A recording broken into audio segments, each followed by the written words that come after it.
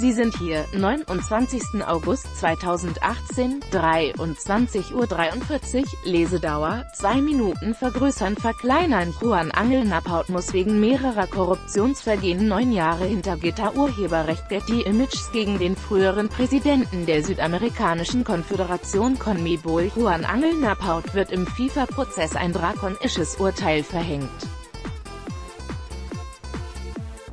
Der frühere FIFA-Vizepräsident Juan Angel Napaut, Paraguay, ist für seine Verbrechen im Weltfußball zu neun Jahren Haft verurteilt worden.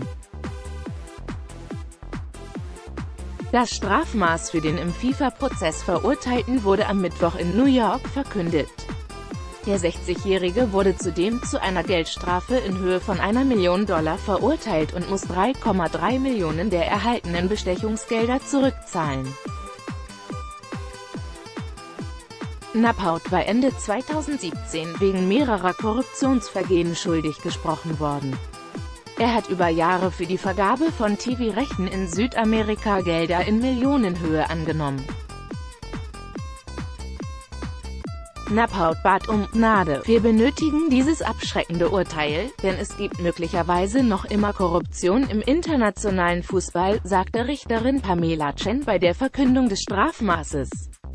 Nappaut hatte zuvor um Nachsicht gebeten. Ich möchte Sie um Mitgefühl bitten, ich möchte Sie um Gnade bitten. In der vergangenen Woche war bereits der frühere brasilianische Verbandspräsident José Maria Marin, 86, zu, zu einer Haftstrafe von vier Jahren sowie zur Zahlung einer Geldstrafe in Höhe von insgesamt 4,5 Millionen Dollar verurteilt worden.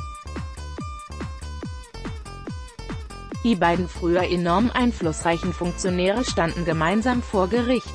Insgesamt 42 Beschuldigte Insgesamt richtet sich die Anklageschrift der US-Strafverfolger gegen 42 Beschuldigte, darunter viele Ex-Offizielle sowie Mitarbeiter von Sportrechteagenturen.